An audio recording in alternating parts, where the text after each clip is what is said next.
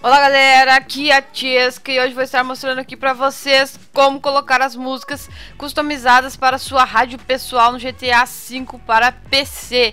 É isso aí galera, é muito simples, basta vocês irem na sua pasta documentos, que é bem fácil de ser encontrada, geralmente vai estar aqui na lateral, mas você também pode ir em C, usuários e o seu usuário, que a pasta documentos vai estar lá. Então vamos aqui na pasta documentos Rockstar Games, galera. Vai na pasta da Rockstar, entra em GTA V User Music. Essa é a pasta onde você vai ter que colocar as músicas que você quer que toquem lá na sua rádio pessoal. É muito simples, é só copiar e colar. Então eu separei aqui algumas músicas sem copyright aqui pra gente estar tá testando, tá? Vou só colar aqui Ok, muito fácil, só isso, galera.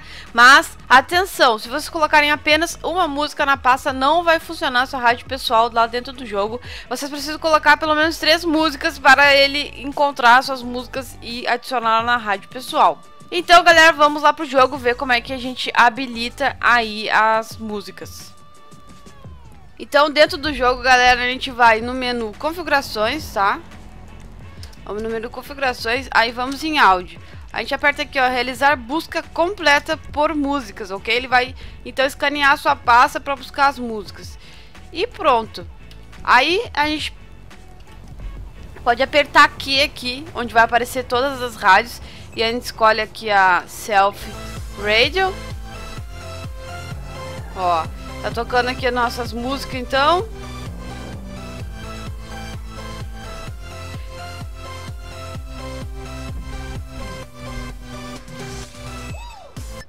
Ou a gente pode estar tá usando o botão ponto e vírgula para estar tá indo para frente e para trás aqui nas rádios, ok? E procurar a rádio ou também o, o botão do meio do mouse, só que ele só vai para frente das músicas, tá?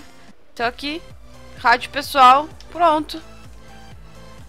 Isso aí, temos as nossas músicas, podemos botar muitas, muitas músicas para jogar e tá ouvindo a nossa trilha sonora personalizada. Então é isso aí, galera. Espero que vocês tenham gostado do vídeo. Se gostaram, não se esqueça de deixar aquele like, aquele favorito.